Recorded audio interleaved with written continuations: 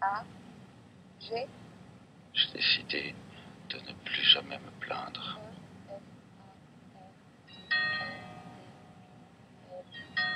Je viens de m'apercevoir qu'à part mon œil, il y a deux choses qui ne sont pas paralysées.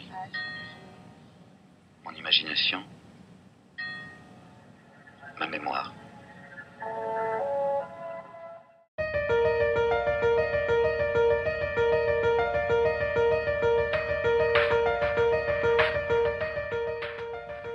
Hi, my name is Michael Schmidt, and as most of you know by now, I hate reading.